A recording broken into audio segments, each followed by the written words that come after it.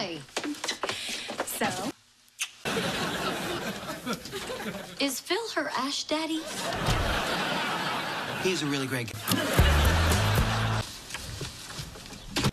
You know, Ariel, what I like best about Chamber of Commerce meetings? And this is me keeping the rest of the wine for myself.